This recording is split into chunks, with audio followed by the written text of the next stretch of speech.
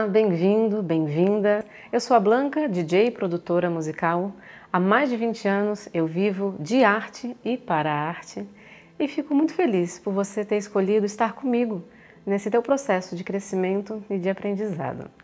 A minha intenção é instigar em você uma chama, a chama da curiosidade que te leva a questionar quem eu sou, onde eu estou, aonde eu quero chegar, para que cada passo da tua evolução você esteja atento, consciente das tuas escolhas e dos teus objetivos, porque sem essa consciência, meus caros, a gente não vai a lugar nenhum.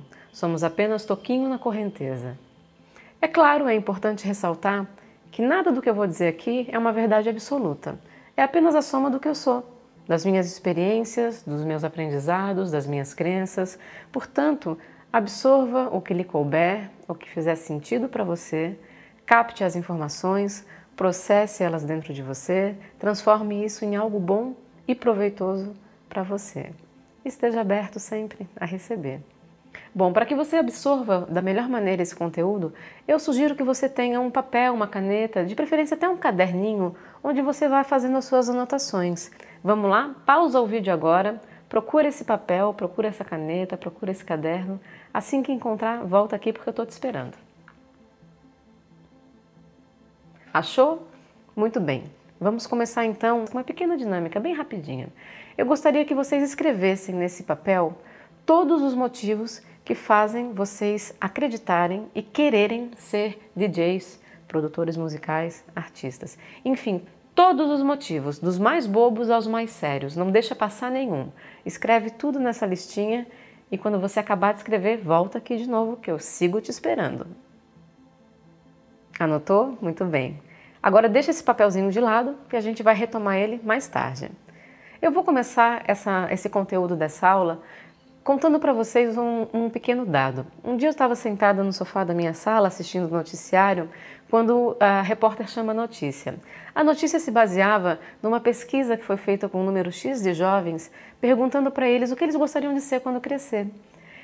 E cerca de 70% desses jovens disse que queria ser DJ. Aí a matéria começou, mostrou a vida de um DJ correndo para cima e para baixo, é, mostrou um professor dentro de uma escola ensinando os jovens a discotecar, enfim. Mas o que realmente chamou minha atenção foi esse número. 70% dos jovens entrevistados diziam: Mamãe, quero ser DJ, quero ser DJ, quero fazer disso a minha profissão. E eu fico me perguntando por quê? O que, que faz tantas pessoas, tantos jovens acreditarem que querem seguir essa profissão. Aí sempre que eu tenho a oportunidade de perguntar, de ir numa escola, de fazer uma palestra, quando eu posso eu pergunto: o que, que traz vocês aqui? Por que vocês querem ser DJs? E as respostas são diversas. Uns dizem que têm paixão pela música, uns que gostam de festa, uns porque gostam de tecnologia, ou porque têm vontade de viajar pelo mundo. Alguns dizem que querem pegar mulherada, já ouvi gente dizer isso. Uh, muitos falam em fama, em fortuna, em privilégios. Uh, muitos dizem para levar alegria para as pessoas. Alguns dizem que sentem que é isso que eles têm que fazer, que é a vocação. Enfim, os motivos são muitos. E muitos desses motivos, obviamente, são alimentados por estereótipos pela ideia que chega até nós através da mídia, através do, do, pouco conhecimento que a gente tem dessa área. Assim. O ambiente onde a gente circula, que é um ambiente de festa, de festival, é um ambiente que propicia também a ideia de que estamos sempre bem, felizes, alegres, que é uma profissão uh, de pura alegria. Né? Esses estereótipos são muito fortes. Existe também uma superpopularização eh, dessa profissão. Há uns tempo atrás, se perguntasse para minha vozinha o que é, que é um DJ, ela não saberia responder. Hoje ela já sabe. Você deve ser um DJ, se não é, talvez conheça algum DJ ou conhece alguém que conhece um DJ, ou seja, tem muito DJ no mundo hoje em dia, né? E todos esses estereótipos fazem parecer fácil, fazem parecer que é fácil ser DJ. E sabe qual é a ironia? Pior que é fácil mesmo. É fácil ser DJ. Quer ver? Se a gente remonta a origem do termo DJ, disc jockey, em tese é qualquer pessoa capaz de fazer uma playlist e executar essa playlist. É uma profissão que nasceu com as rádios, onde o programador fazia a sua playlist e executava para a nação inteira ouvir. Dali foi para o clube, para o festival e chegou onde nós estamos hoje. Mas se nós pensarmos que em tese um disc jockey é qualquer pessoa que pode fazer uma playlist e executar, de fato é fácil ser DJ. Os entusiastas que fazem festa em casa, convidam uns amigos no final de semana, compram equipamento, discotecam para eles, não são DJs? Claro que são. E as pseudo-celebridades que saem da casa do Big Brother, por exemplo, e para segurar um pouco mais aquela fama, decidem ser DJs?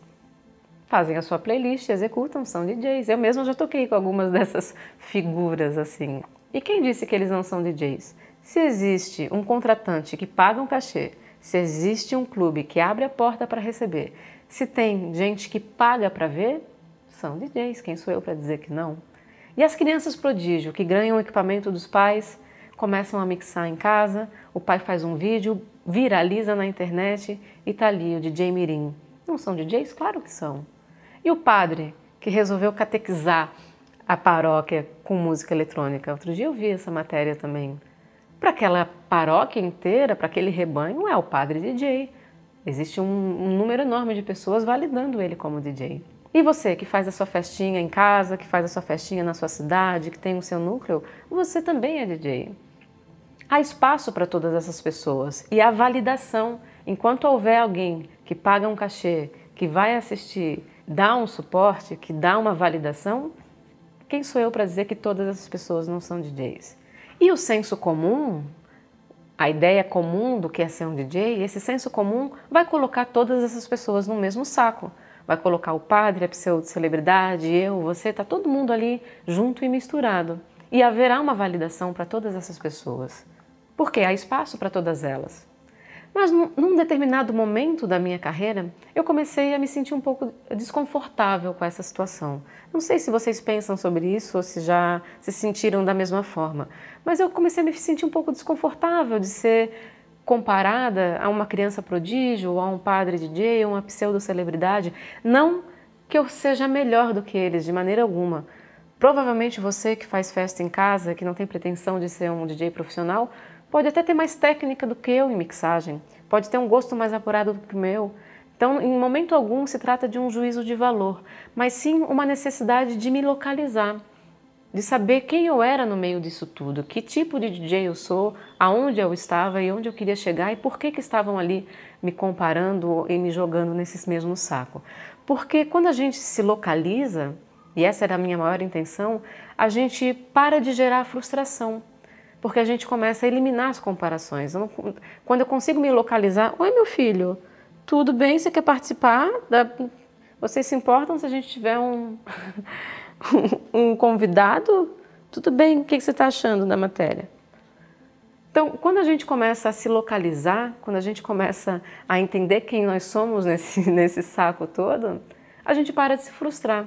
E eu precisava parar de me frustrar por me sentir comparada com um padre DJ. E para isso, para que eu pudesse tentar me localizar nesse dentro desse senso comum, eu precisei criar dentro da minha cabeça alguns mecanismos que me clareassem um pouco essa questão. E para isso eu elaborei para mim mesma uh, uma diferença que pudesse, sem arrogância, sem nada, enfim, mas a diferença que pudesse me localizar no meio desse, desse bolo todo, que é a diferença entre ser DJ e estar DJ. E essa diferença vale para todos os âmbitos da nossa vida. A diferença entre ser alguma coisa e estar alguma coisa. Quando a gente procura no dicionário, ah, coloca ali o verbo estar, logo as três primeiras opções que aparecem já são muito ilustrativas sobre esse, o significado do estar. Por exemplo, como predicativo é ter ou apresentar certa condição física, emocional, material não permanente.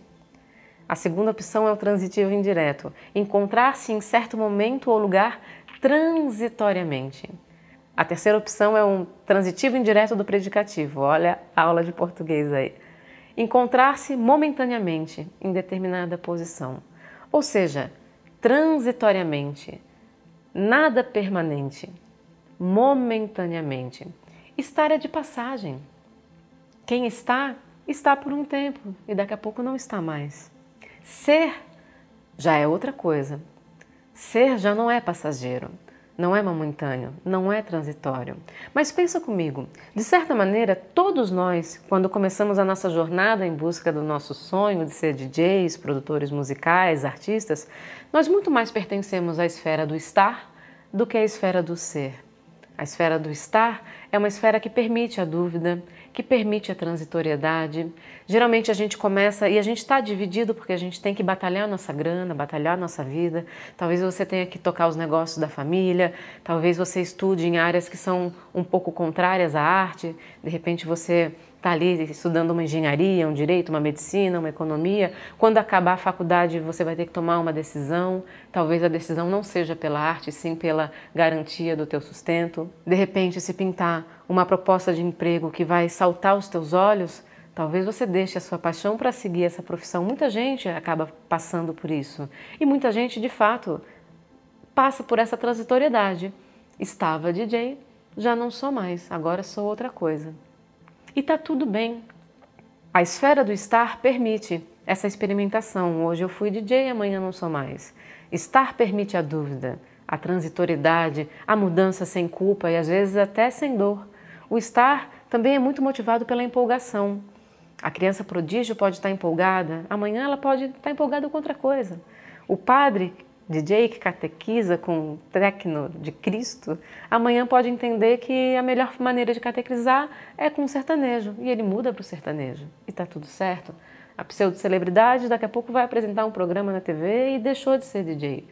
Então, para mim foi muito importante esse, essa reflexão, porque de certo modo eu entendia que para mim, apesar da, das incertezas, eu sentia que não era algo passageiro. Eu sentia que para mim não seria tão fácil assim abandonar a arte para seguir um outro caminho. Eu também sentia que para mim não era uma questão de vaidade, não estava ali por pura vaidade. Também sentia que não se tratava de uma pura empolgação. Eu comecei então a perceber que eu estava um pouquinho mais próximo do outro lado. Então, o primeiro exercício que eu gostaria de propor para você, que é um exercício de autoconsciência, de autoconhecimento, é tentar entender em qual esfera você está. Se você tem esse sentimento de transitoriedade, se você sente que está em cima dessa corda bamba, que qualquer coisa pode te puxar para um outro lado, ou se você sente que o seu motivo, o que te traz até aqui, é um pouco mais forte. Se você sente que você tem um pouco mais de firmeza, que nada te abalaria nesse momento. Para isso, para ajudar nessa dinâmica, eu gostaria que você retomasse aquela listinha que você fez lá no início da nossa aula e passasse item por item dos que você escreveu. Amor pela música, pela festa, pela tecnologia, é, sonho de viajar pelo mundo, conhecer pessoas. Pega todos esses itens, passa um por um. E eu vou te fazer uma pergunta agora. Se nada disso desse certo, se a paixão pela música não fosse o suficiente para te trazer a fama que você deseja, se você realmente não alcançasse essa fama, se o sucesso não viesse, se você não conseguisse fortuna com isso, se você não conseguisse viajar pelo mundo, se você não conseguisse atingir as pessoas, se nada disso acontecesse a curto e a médio prazo, ainda assim, você continuaria?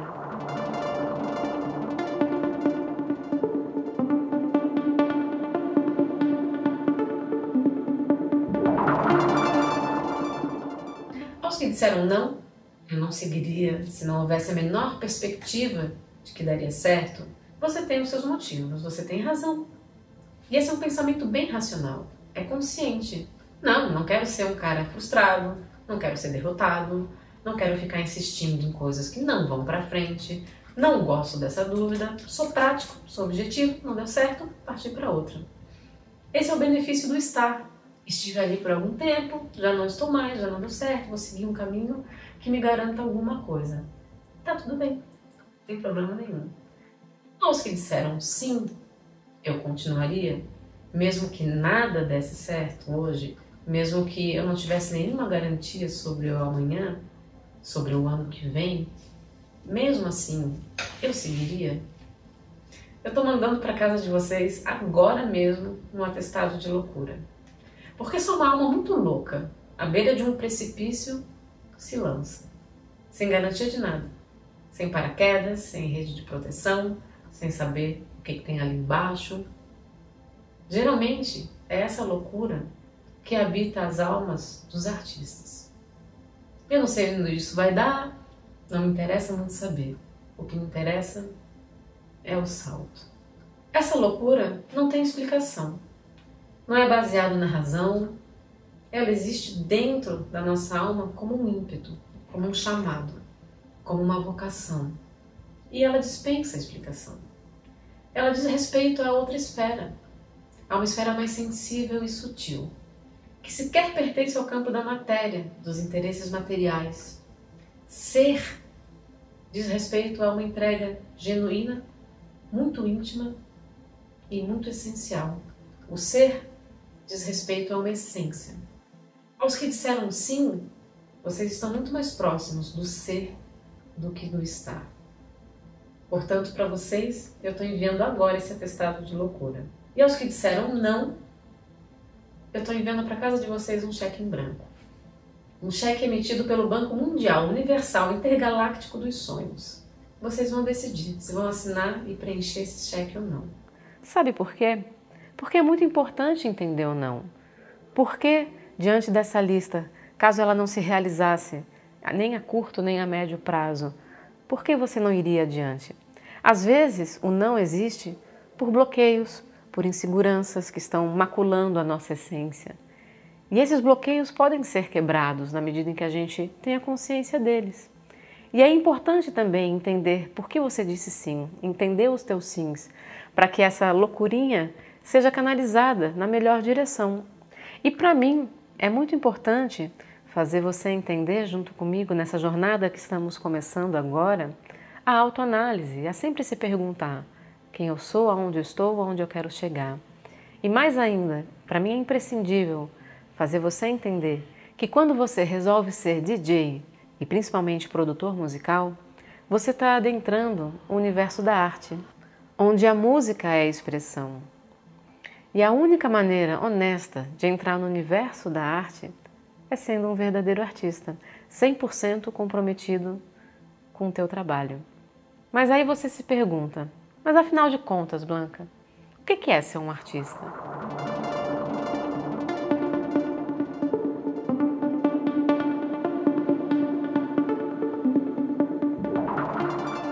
Fernanda Montenegro, a grande dama do teatro brasileiro, muito embora ela deteste ser chamada assim, certa vez ela foi entrevistada num tablado, num, num teatro. Ela sentadinha de um lado, a repórter do outro. Numa certa altura da entrevista, a repórter pergunta: Fernanda, que conselhos a senhora daria a um jovem ator, a um aspirante a ator? Fernanda, muito calma, responde assim: Desista. A repórter bota a mãozinha no peito e diz: Nossa, não imaginava que a senhora fosse dizer isso. E a Fernanda continua: É, desista. Isso aqui não é para você. Porque confundem teatro com permissividades, com realização da opção sexual, com fama, fortuna, sucesso. Aí entra a televisão, dizia ela, que a televisão é uma fábrica de falsos atores. Se você não sabe chorar, bota ali uma lágrima e a cena está feita. Se a cena não está dramática o suficiente, coloca uma música e a cena está feita. Em outras palavras, ela dizia: todo mundo pode ser um produto, pairar na superfície das coisas. Elas não sabem o que é isso aqui. Aí ela apontava para o palco e dizia: vai ser qualquer coisa, vai ser outra coisa da sua vida. Abra espaço, sai do caminho, vai embora, vai para casa. Agora, se morrer porque não está fazendo isso, se adoecer, se ficar em tal desassossego que não tem nem como dormir, como existir, então volte. O que é esse desassossego que nos tira o sono? O que é essa energia que, quando não se concretiza, nos deixa doentes, como se algo essencial estivesse faltando na nossa vida? Me permitam ler um trechinho de um livro muito bonito chamado Cartas a um Jovem Poeta. Esse livro trata-se de uma troca, de uma trocação de cartas que durou mais ou menos seis anos entre um jovem poeta inseguro sobre seus poemas, inseguro sobre se deveria continuar escrevendo ou não, e as respostas que um poeta já consagrado dava a ele. Esse poeta consagrado é o Hilke, escritor do século XIX, nascido em Praga, tem a poesia como veículo, tratava de bastantes temas existencialistas. E esse jovem, por uma sorte do destino, conseguiu o contato do Hilke e eles ficaram trocando cartas por seis anos. Generosamente, o Hilke respondia a ele. E esse livro trata-se apenas das respostas que o Hilke deu a esse jovem poeta. Então, eu vou ler um trechinho da primeira resposta, que está contida na primeira carta que esse jovem poeta recebeu do Hilke. O senhor me pergunta se os seus versos são bons. Pergunta isso a mim. Já perguntou a mesma coisa a outras pessoas antes. Envia os seus versos para revistas, faz comparações entre eles e outros poemas e se inquieta quando um ou outro redator recusa suas tentativas de publicação. Isso lembra um pouco a gente quando está começando a produzir, faz música, manda para as pessoas, quer, quer um feedback, é, se compara com outros, fica comparando a nossa música com outros, fica triste se a gravadora não responde. Tem uma inquietude aí, né, nesse processo de criação, principalmente quando somos é, novatos no, no circuito, percebam. Deixa eu continuar aqui. O rio que continua. Agora, como me deu licença de aconselhá-lo, lhe peço para que desista de tudo isso, de pedir feedback, de se comparar com os outros. Lhe peço para que desista de tudo isso. O Senhor olha para fora e é justamente o que não deveria fazer agora. Ninguém pode aconselhá-lo e ajudá-lo. Ninguém. Há apenas um meio. Volte-se para si mesmo Investigue o motivo que o impele a escrever. Comprove se ele estende as raízes até o ponto mais profundo do seu coração. Confesse a si mesmo se o Senhor morreria caso fosse proibido de escrever. Sobre tudo isso, pergunte a si mesmo, na hora mais silenciosa de sua madrugada: Preciso escrever? Desenterre de si mesmo uma resposta profunda e se ela for afirmativa. Se o Senhor for capaz de enfrentar essa pergunta grave com um forte e simples sim, preciso, então construa sua vida de acordo com tal necessidade. Sua vida tem de se tornar, até na hora mais indiferente e irrelevante, um sinal e um testemunho desse impulso. Que coisa mais linda! Eu acho lindo, que conselho lindo que um jovem poeta inseguro poderia receber de um mestre. Volte-se para dentro. Questione-se se você morreria se não estivesse fazendo isso. Perceba que ambos estão falando de uma força que habita dentro da alma de um artista, uma essência que define de tal maneira o sujeito a ponto de não haver possibilidade de seguir vivendo se não for daquele jeito, seguindo o seu propósito, fazendo música, fazendo poema, fazendo teatro. Nesse momento, existem dois pontos a serem analisados. Vamos analisar eu e você aqui. A dificuldade que nós temos de olhar para dentro. O Rio que dizia: o Senhor olha para fora, e é sobretudo o que não deveria fazer agora. O segundo ponto é a dificuldade que nós temos de construir a nossa vida de acordo com tal necessidade. Muitos, mesmo ouvindo essa vocação, mesmo sabendo o caminho que gostariam de tomar, não têm força para seguir nesse caminho. E o que é esse impulso? Esse impulso é justamente a vocação. É aquilo para o qual nascemos. Vocação do latim vem de vocatio, chamado, voz interior. É a nossa essência, é a nossa natureza. É o que os romanos chamavam de gênio criativo. Usavam esse termo para designar um espírito interior, sagrado e inviolável, que nos protege e nos guia para a nossa vocação. Esse gênio criativo é a morada da nossa alma, o receptáculo que abriga o nosso ser potencial, é o nosso farol, a nossa estrela polar. Essas palavras são do Steven Pressfield que escreveu um livro muito bonito chamado A Guerra da Arte. Eu vou me basear um pouco nesse livro para a gente seguir conversando sobre esse tema.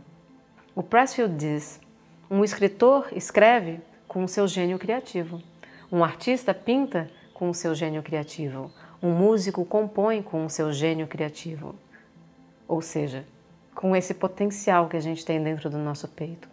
É claro que não significa que esse gênio criativo pertença unicamente às artes. Cada um de nós, cada um de vocês, tem o seu próprio gênio criativo.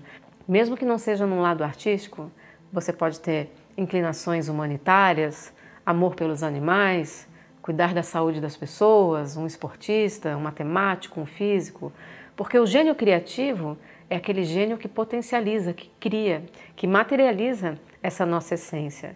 Se você sente que a sua vocação é cuidar de animais, você potencializa e materializa no momento que você o faz, ou que você vai estudar medicina veterinária, ou que se dedica a uma ONG a isso. Compreende? Cada um de nós é um ser único. Cada um de nós tem o seu próprio chamado, a sua vocação, o seu próprio discurso. Cada um de nós veio nesse mundo para deixar o seu recado. Essa voz, isso que a gente chama de vocação, é a nossa natureza. Como dizem, a pessoa é para o que nasce. E quando nós não ouvimos, algo em nós se perde, algo indubitavelmente morre, algo deixa de ser dito, um pedacinho de nós não se completa. E aí a gente acaba entrando num modo muito mecânico de vida, o que o Pressfield vai chamar de duas vidas, que é a vida ordinária, a vida cotidiana, a vida dos afazeres, das obrigações, e aquela vida não vivida, a vida do sonho não realizado, porque não tivemos tempo para ele, ou porque não tivemos coragem de assumi-lo, ou porque não tivemos incentivo suficiente, ou porque não tivemos certeza de que daria certo. Aí a gente passa a conjugar o tempo no pretérito imperfeito. Ah, eu gostaria de. Ah, eu queria. É a vida no si. Ah, se eu tivesse feito, se eu tivesse sido, se eu tivesse aquilo. E perceba ao seu redor a quantidade enorme de pessoas que vivem essas duas vidas: a vida cotidiana, a vida dos afazeres e aquela vida do sonho frustrado, do sonho não realizado.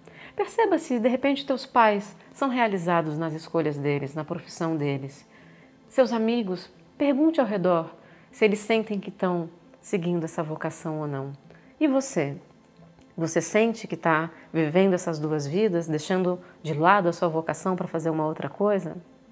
Portanto, eu digo muito cuidado a olhar para a tua lista e dizer não, eu não seguiria, eu não iria adiante, sem analisar o porquê, sem analisar que esse não pode ser simplesmente alguns bloqueios e a dificuldade de seguir de verdade um chamado, de seguir a tua vocação. Cuidado, porque ao desistir de qualquer sonho que você tenha, por achar que é difícil demais, por achar que vai demorar demais, por achar que não vai te dar retorno, por achar que você não tem chance alguma de sucesso, ou até por duvidar da tua capacidade, você começa a materializar essa segunda vida, que é a vida da frustração, dos sonhos não realizados, dos desejos frustrados, dos sentimentos de vazio, de incompletude, sem saber que toda essa frustração deforma a tua alma e nos torna, essa frustração torna as pessoas bem menores do que elas nasceram para ser. Portanto, se existe algum conselho que eu poderia reafirmar aqui, é esse: faça o possível para ser íntegro, para não se dividir, para não viver essas duas vidas.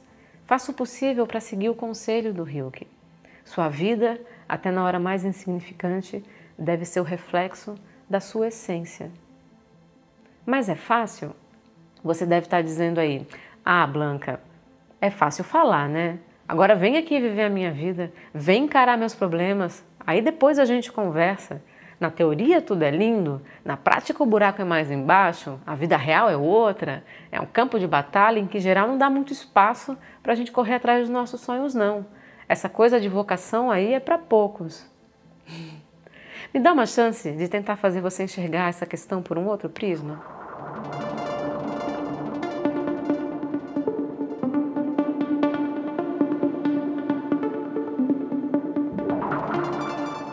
Mas é fácil? É fácil largar tudo para seguir a nossa vocação, seguir o nosso sonho, seguir a nossa chama interior?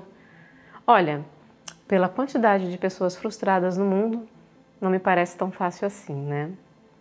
O Steven Pressfield, esse autor que eu citei na aula anterior, ele escreveu um livro muito interessante chamado A Guerra da Arte. Sugiro para que vocês leiam. Ele traz esse tema com mais força para a gente. E eu vou me valer um pouco dessa leitura que eu fiz para seguir com esse conteúdo da nossa aula.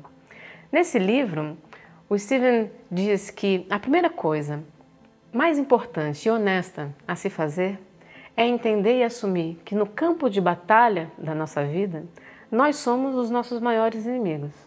A guerra que travamos é contra nós mesmos.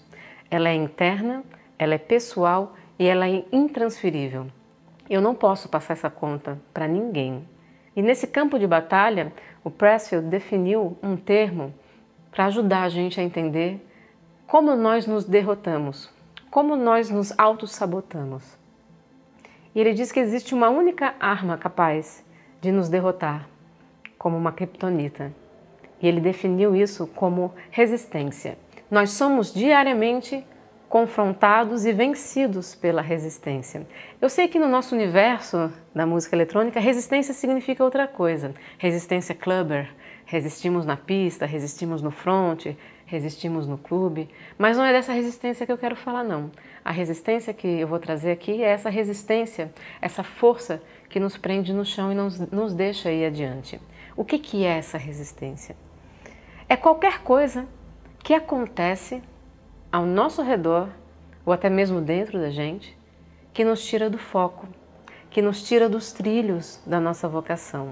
A resistência, ela não opera em coisas ordinárias, ela existe para fazer com que a gente desista daquilo que é mais importante para nós.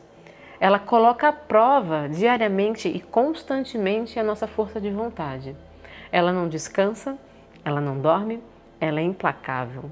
E o único objetivo da resistência é fazer você desistir do único caminho que deveria ser o seu, que é a sua vocação. Quer ver um exemplo? Você finalmente consegue ter aulas particulares de produção musical com a Blanca. Fechou. Marcamos o encontro, quarta-feira, quatro da tarde. Três e meia você entra no seu carro. Da partida e o carro não liga. O carro não liga, o carro não liga você pensa: ah, não era para eu ir mesmo, deixa para a semana que vem e volta para dentro da casa. A resistência te venceu. Se você gira a chave do seu carro e ele não liga, você pensa: vou de Uber. Você venceu a resistência naquele momento. Aí você chama o Uber uma vez, cara cancela. Chama a segunda vez, motorista cancela. Chama a terceira vez, o motorista cancela. Aí você pensa: ah, não é para eu ir mesmo, volta para dentro de casa. Resistência te venceu. Se você pensa, tudo bem, eu vou de ônibus, e corre para o ponto e pega o ônibus, você venceu mais uma vez a resistência. Se lá dentro do ônibus você desce no ponto errado, na frente do bar, faltando 10 minutos para começar a aula, e você pensa, poxa, já estou atrasado mesmo, vou sentar e beber uma cervejinha. Não tem problema nenhum, semana que vem eu faço aula a resistência te venceu. Se você olha para o relógio e pensa, uau, tenho 10 minutos ainda, vou correndo para a casa da Blanca fazer essa aula, você venceu a resistência. Perceba, são nos pequenos, são nas pequenas coisas do nosso dia a dia, pequenas decisões, pequenas tomadas de decisões de caminhos que a gente assume que nos fazem vencer a resistência ou ser derrotados pela resistência. E perceba que tudo isso acontece, mas a escolha é nossa de voltar para casa, desviar do caminho ou não, seguir firme no seu propósito. Entenda que todos os dias a resistência vai aparecer na sua frente com uma cara diferente para te tirar do rumo. Seja quebrando a tua concentração, seja te distraindo, é um telefonema que toca, é um convite recusável, é uma briga com o vizinho, é um golpe que você leva, é um carro que quebra, é um filho que chama. São as coisas mais diversas. E o tempo inteiro você tem que estar atento para saber o quanto essa resistência está atuando para te tirar do teu foco. O Steven diz que não tem coisa mais difícil na nossa vida do que a gente sentar para fazer o que tem que ser feito. E mesmo assim, quando você se concentra e você vence as resistências, você vence esses pequenos desafios, faz as escolhas que te levam no caminho da tua vocação, o Steven ainda vai dizer que a resistência ela é mais forte na reta final. Quanto mais próximos nós estamos do nosso objetivo, mais forte ela fica. Ele dá um exemplo muito legal do Odisseu, da, do livro clássico A Odisseia, escrito pelo Homero. O Odisseu estava muito próximo de chegar em casa, depois de ter passado por todos os percalços dessa Odisseia. Estava já vendo, assim, de dentro do navio dele, a fumacinha dos chaminés das casas lá no litoral. Tranquilo, pensando: estou próximo de casa, deu tudo certo. Vou descansar até chegar com meu barco e atracar. No momento em que ele parou para descansar, os marujos abriram uma sacolinha de couro achando que tinha ouro lá dentro. E na verdade tinham os ventos mais violentos guardados, escondidinhos dentro daquela sacola. Ou seja, eles abriram, os ventos sopraram, levaram o navio de volta ao início. E ele teve que percorrer tudo de novo para voltar para casa. Então, todos os dias você vai ser colocado à prova. Se você decidiu estudar produção musical, conseguiu uma bolsa de estudos num colégio, numa escola que te interessa. No mesmo dia, teu pai te liga dizendo: Filho, volta para casa porque os negócios da família estão indo super bem e a gente precisa de você aqui. E você vai. A resistência, inclusive, paga a tua passagem para você ir. Ela não se interessa mais por você. Ela te venceu. Ela te tirou do foco, te tirou da tua vocação. E aí você vai viver, sem muita dificuldade, essa vida que não deveria ser a sua essa ordinária dos negócios da família, e o teu sonho vai ficando lá de lado, e aí você materializa a sua segunda vida. Poxa, eu queria tanto ter sido DJ, né? Mas tive que vir para cá tocar os negócios da família. Poxa, não, eu podia tanto estar em outro lugar, mas estou aqui. Mas tudo bem, é importante tocar os negócios da família. O Steven faz uma analogia que eu acho muito bonita. Ele diz que a nossa voz interior, o nosso gênio criativo, a nossa vocação, a nossa natureza é um farol, é o nosso sol. Mas todo sol projeta uma sombra. E a sombra do nosso gênio criativo, desse nosso sol, é a resistência. E uma das estratégias mais ardilosas da resistência é se disfarçar de razão, usar da nossa racionalidade para justificar a nossa desistência. Pensa comigo, todos os motivos que te levam a desistir dos teus sonhos, da tua vocação, são motivos reais, são motivos palpáveis, são motivos justificáveis. Você precisou largar o seu sonho para cuidar dos negócios da família. Vamos ver uns exemplos que batem com mais força no nosso circuito. Você mora no interior, numa cidadezinha pequenininha que nem tem cena, ninguém escuta a música que você gosta, não tem a mínima chance de crescimento. É um fato, não é um fato? A sua razão diz que não tem como dar certo. Você acabou de ser pai. É um fato, seu bebê nasceu, a sua família precisa de você, a sua sogra está no seu ouvido buzinando, não é uma realidade, é um peso, é um fardo, é um fato.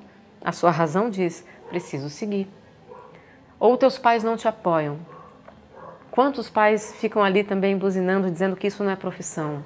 Não é um fato? É um fato. Existe um peso dentro de casa dizendo para você sair do, do, do, do rumo dos teus sonhos. Você não tem grana nem para consertar a geladeira, que dirá para comprar computador. Não é um fato a falta de grana? É. E aquele emprego fixo que mantém você 8, 10 horas grudado, trabalhando, e quando você chega em casa está cansado, não tem nem tempo, nem energia para fazer música. Não é um fato? Esse emprego, esse cansaço não bate de verdade? Bate. Se você tem um companheiro, uma companheira ciumento, ciumenta, cada vez que você sai para tocar, para se apresentar, é uma encheção de saco. Não é um peso que existe, não é um fato, não é uma, a tua razão não diz assim, Tá pesado, tá difícil, não tenho como seguir. Os selos não te escutam, você não recebe resposta de ninguém. É um fato, você não está inventando, eles não estão te devolvendo uma resposta. Ou você não tem oportunidade na sua cidade de tocar, os clubes são umas panelinhas, você se sente posto de lado, rejeitado. É um fato. Você tem medo de ser julgado? Tudo isso são fatos. Todos os motivos são razoáveis, palpáveis e reais, não é mesmo? Mas a grande verdade é que nenhum desses motivos pode realmente te derrubar. Pensa quantas e quantas histórias de pessoas com problemas iguais ou piores do que os teus não se deixaram abater, nem esmorecer. Pesquisa um pouquinho a vida dos artistas que você gosta. Entenda de onde eles vieram. Com certeza muitos vieram de cidades do interior. Cal Cox, a lenda da house music, rei de Ibiza, nunca teve o apoio do pai. Nunca ouviu o pai dizer: Que orgulho, filho, parabéns, estou orgulhoso de você. Pelo contrário, ele dizia: Desista, sai daí, vem trabalhar comigo. E essa é uma das maiores frustrações do Cal Cox, mas ele desistiu. Olha onde ele está hoje. Agora vamos sair um pouco do nosso nicho da música eletrônica. É fácil achar exemplos disso. Vai e pega os jogadores de futebol. A maioria que saiu de periferias para conquistar o mundo Outro dia eu me vi assistindo o filme do Zezé de Camargo de Luciano, eu chorava vendo de onde aqueles meninos saíram, onde eles chegaram. e existe também uma, um, uma chance que a gente tem, mas essa aí é tapa na cara mesmo, de quatro em quatro anos. Pare para assistir as Paralimpíadas. Pessoas com limitações físicas graves que não se deixam limitar, que vão adiante, não importa o quanto, e o mais importante nessa jornada deles nem é o pódio, é o estar lá, vivo, se superando dia após dia. E a gente aí reclamando que um selo não responde para a gente, a gente reclamando da frieira do pé, é isso mesmo? Entenda que a única coisa que pode realmente te abater é você mesmo. É o teu medo. A resistência em si, ela não tem força própria. Você alimenta a resistência com o medo, com a preguiça, com a procrastinação, com a mudança de rumo ali por causa de um pequeno probleminha, me deixa esperando na aula enquanto está tomando cerveja. É você. Crescimento, evolução, é sempre sinônimo de mudança. E toda mudança gera medo, gera um friozinho na barriga. E sabe por quê? Porque mudança, crescimento, exige reposicionamento. Aí eu te pergunto: você está disposto, você está disposta a se reposicionar na sua vida? Você está disposto ou disposta a sair do interior do estado, a sair da casa dos teus pais, a parar de ganhar aquela mesada, a largar o conforto? Está disposto a se reposicionar diante dos seus amigos, dos teus relacionamentos? Porque às vezes é necessário fazer isso. Você está disposto a encarar as críticas que podem aparecer? Tem um trecho muito interessante onde o Steven vai dizer que a resistência recruta aliados. Quando você começa a se focar nos teus objetivos, as pessoas ao teu redor mudam e nem sempre um, mudam para um estado melhor. As pessoas acabam se tornando tuas críticas. Perceba se as pessoas ao teu redor se te criticam demais porque você está focado, está trancado no, em casa e não sai para ver os amigos, está trancado em casa e não sai para ver o namorado a namorada essas pessoas começam a mudar ao teu redor também. Perceba. Perceba também se você não tem o hábito de criticar demais as pessoas que venceram. Pensa comigo, pensa no cara que está no topo da nossa cadeia aqui no, no Brasil. Pensa no cara que é considerado o melhor DJ do Brasil, o mais famoso.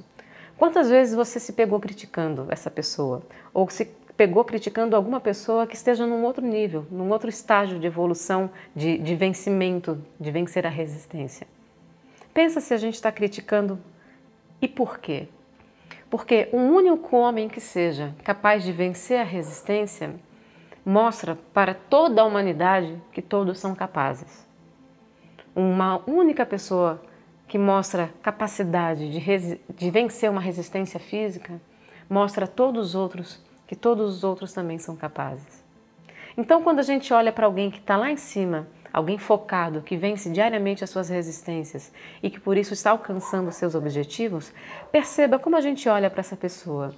Se essa pessoa se torna uma inspiração do tipo, quero ser igual a ele, quero ser igual a ela, posso chegar lá, ou se torna assim, poderia ser eu e não sou.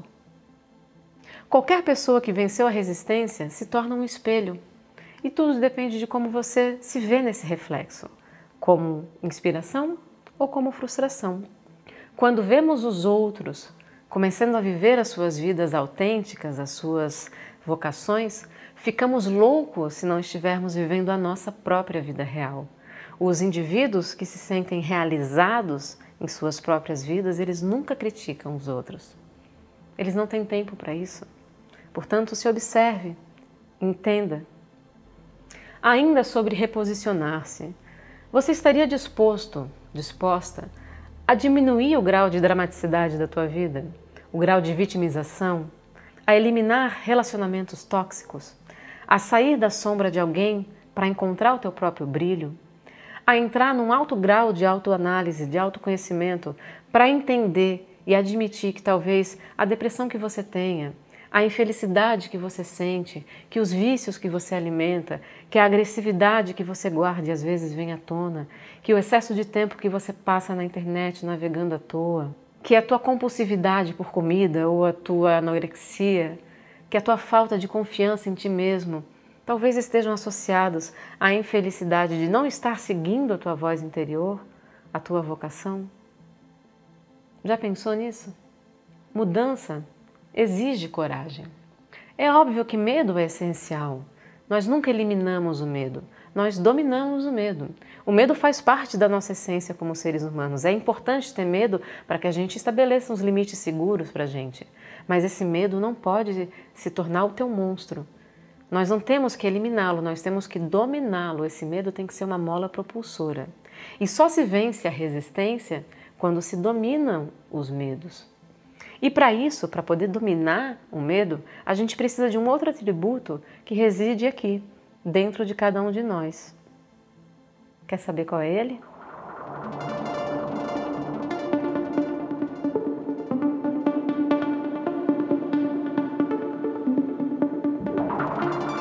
Esse atributo, capaz de fazer com que a gente domine o nosso medo e vença as resistências diárias, é a vontade. Existe uma filósofa chamada Lúcia Helena Galvão, que eu gosto muito dela, e ela explica muito bem o tema da vontade nas palestras que ela dá. E eu vou me valer um pouco das palavras dela para explicar para vocês do que se trata essa vontade. Primeiramente, é importante entender que não se trata de uma vontade uh, corriqueira, não é uma vontade passageira, não é essa vontade esvaziada de sentido que hoje em dia foi atrelada ao desejo. Ai, que vontade de tomar um sorvete. Você vai lá e toma. Ai, que vontade de escutar aquela música. Você vai lá e escuta. Que vontade de mergulhar no mar. Você vai lá, se possível, mergulha. Não é essa vontade associada a esses desejos. Essa vontade não é desejo, porque essa vontade não passa. Os desejos passam. Quando você toma sorvete, passou. Quando você ouviu a música, passou. Quando você mergulhou no mar, o desejo passou. Essa vontade não é desejo, porque ela não passa. Essa vontade pertence ao campo do divino. É o divino que habita dentro de nós. Está ali do ladinho da nossa vocação, pronto para ser despertado. É o maior poder e o mais divino que pode ter dentro e fora da gente. Mas para entender melhor do que se trata essa vontade, já que ela foi esvaziada de sentido, de valor nos dias de hoje, por ter sido associada ao desejo, foi preciso colocar uma outra palavra na frente de vontade, um substantivo, que é a palavra força. Força de vontade. Aí quando a gente diz, ah, eu tenho vontade de não sei o quê, vontade de quê? Essa vontade não é a que nos interessa. Quando a gente diz força de vontade, você já entende. Ah, o sujeito é perseverante, o sujeito é focado, o sujeito é confiante em si, o sujeito, o sujeito está focado com a sua força de vontade rumo a um objetivo. Percebam que já tem uma diferença entre vontade e força de vontade? Mas também é importante entender que essa força não é esforço. Porque a gente pode dar um esforço danado. Claro que o esforço é importante, é uma qualidade importante, mas essa força posta na frente da vontade não é esforço. Eu, por exemplo, eu lembro de ser pequena e fazer muito esforço para entender matemática. Era penoso, era custoso, era triste. Eu ia para aula de reforço no sábado e não compreendia nada. Eu chegava em casa, pedia ajuda para minha mãe, continuava sem compreender nada. Era ela chorando de um lado, eu do outro. E sigo até hoje sem compreender nada. Por mais que eu faça um esforço, por mais que você pare na minha frente para tentar explicar que 2 mais 2 é 4, eu faço um esforço danado para entender e não entendo. Não é à toa que eu tenho uma tatuagem que diz 2 mais 2 igual a 5. Esse esforço não é essa força. Eu vou relatar para vocês também um outro episódio. Eu lembro que quando eu estava fazendo mestrado, eu comecei numa linha de pesquisa que eu não dominava, eu não conhecia. E no fundo eu fui percebendo que não me agradava. Eu entrei nessa linha por causa de um professor que eu gostava muito. E eu tentava, eu me esforçava, eu seguia, seguia, buscava livros e tentava entender e não ia adiantava. Era um esforço em vão. No dia da qualificação, que é quando a gente está na metade do nosso processo do mestrado, onde eles dizem, ok, você pode ir adiante ou não, no dia da qualificação, esse professor olhou para mim e disse: Eu desisto de você. Não vai dar certo. Pensa, eu, uma estudante de mestrado, sendo abandonada pelo meu orientador no dia da minha qualificação. A minha sorte foi que nesse mesmo dia, uma outra professora da banca disse: Vem cá, eu vou te adotar, vou seguir com você. Faltavam apenas seis meses para eu entregar minha tese. Eu mudei o caminho do meu estudo junto com essa professora. Eu mudei o caminho porque essa professora teve a sensibilidade de olhar para mim e perceber algo um pouco essencial. Ela me fez trabalhar em cima da minha própria pintura. Ela me fez pensar e escrever toda uma tese de mestrado em cima da minha própria pintura. Ela enxergou o meu eu criativo, o meu gênio criativo. Em menos de seis meses eu terminei essa tese de mestrado. E eu não me esforçava. Eu tinha força de vontade. Eu tinha entusiasmo. No dia da banca final, a minha tese foi aprovada com 10 e com louvor. Percebam a diferença entre esforço e força? E essa força também não é uma força de explosão, não é uma força motivada pela paixão. A, a paixão é uma força de explosão. Essa força também não é motivada pela raiva. Agora ele vai ver, agora eu vou terminar o meu mestrado e vou mostrar para ele que eu posso. Não. Essa força, que é uma força de explosão, não nos interessa, porque a força de vontade, ela não é explosiva. A força de vontade, ela é lúcida e é perseverante e é duradoura. A força, quando se destina à vontade, é uma força lúcida e duradoura e é sempre ascendente em direção a um objetivo. Portanto, é uma aplicação completamente diferente da força. Quem tem força de vontade está totalmente consciente, sabe onde quer chegar e caminha sempre, sem parar. Claro que o problema é que a gente vive numa sociedade habituada à lei do menor esforço. A resistência adora isso. Trabalhar menos, ganha mais, pagar para ter mais like no Facebook, no Instagram, contratar Ghost Producer. Bom, a vontade, essa vontade, essa força de vontade, ela é composta por duas operações. Decisão fixa e clara aonde você quer chegar, depois entra a perseverança e a constância. Perseverança, fazer sempre, sem pressa e sem pausa. Constância, lembrar-se sempre porque você está fazendo isso. Existe espaço para dúvida? Existe. A dúvida tem que existir quanto aos meios. Ok, eu quero ser produtor musical. Eu vou trabalhar com Ableton ou vou trabalhar com Logic? Essa é uma dúvida justa, mas você não pode duvidar de que você quer ser um produtor musical. O seu ideal não pode ser colocado em dúvida, senão você não chega a lugar nenhum, pode ter certeza. A Lúcia diz: você pensa que o Einstein tinha dúvida se ele era padeiro ou físico, cientista? Não, ele não tinha essa dúvida. Ele podia não saber exatamente que fórmulas assumir, mas ele sabia que ele queria estudar para chegar num ponto. Não é? Não faz sentido? Uma pessoa com força de vontade é uma pessoa motivada e entusiasmada.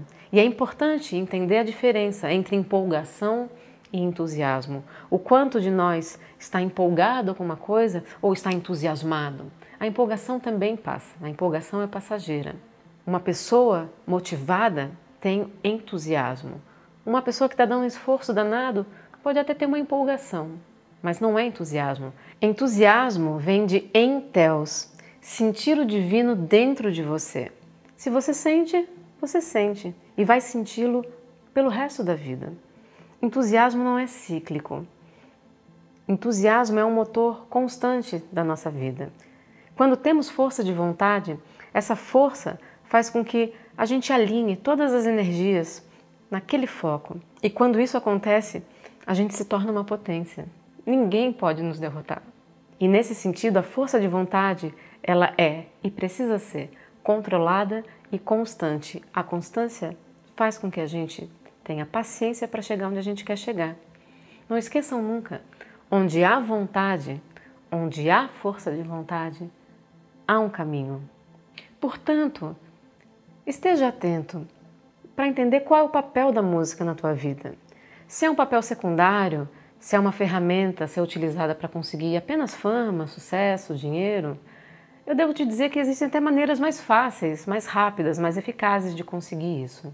Então, se esse é o único motor que te leva para diante, talvez você possa buscar um outro caminho, que não seja através da arte. Agora, se a música tem um papel de ser o teu acalanto, o teu hobby, digamos, aquilo que você faz no teu ócio criativo, não abandone ela. Porque esse também é um papel magnífico para a arte, para a música. Eu acredito que muitos de vocês que estão aqui talvez não tenham a pretensão de se tornar o próximo Solomon da vida. Talvez você esteja aqui pelo simples prazer de ter a música na sua vida, mesmo que ela não seja a protagonista da sua vida. E, em geral, é no nosso ócio criativo, nos nossos hobbies, que nós nos conectamos com o nosso gênio criativo, com o nosso sol, com esse farol, né? Nesses casos, a música vai ser o quê? Um alimento para a tua alma. Vai te dar a energia necessária para você encarar a vida cotidiana. Essa vida que muitas vezes é pesada, é opressiva. É melhor ter a arte como um hobby do que não tê-la de maneira nenhuma. Então, se você precisa batalhar grana e se virar num outro lado onde a arte não é a tua prioridade, tenta mantê-la pelo menos como um hobby, como uma paixão, onde você vai dedicar o que puder a ela, o tempo que puder, do jeito que for, e se for transitório, não tenha culpa por isso.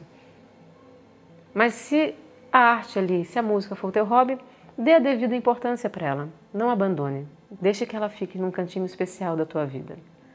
Agora, se a música é a protagonista da tua vida, se a arte é a protagonista da tua vida, é a razão da tua existência, aí faça de tudo, mas de tudo mesmo, para que a sua vida seja um reflexo disso, dessa sua escolha. Nunca esquecendo que, acima de tudo, música é arte uma das mais fortes, mais puras e mais sagradas expressões da arte. A música já existia como expressão humana e com fins sagrados e divinos muito antes de existir comércio, indústria da música, mercado da música. Portanto, não se engana. No final das contas, quando a luz se apaga, quando a festa acaba, quando a pista esvazia, o que conta de verdade é a certeza de que você está no seu caminho e que foi íntegro o tempo inteiro, foi honesto o tempo inteiro com você mesmo.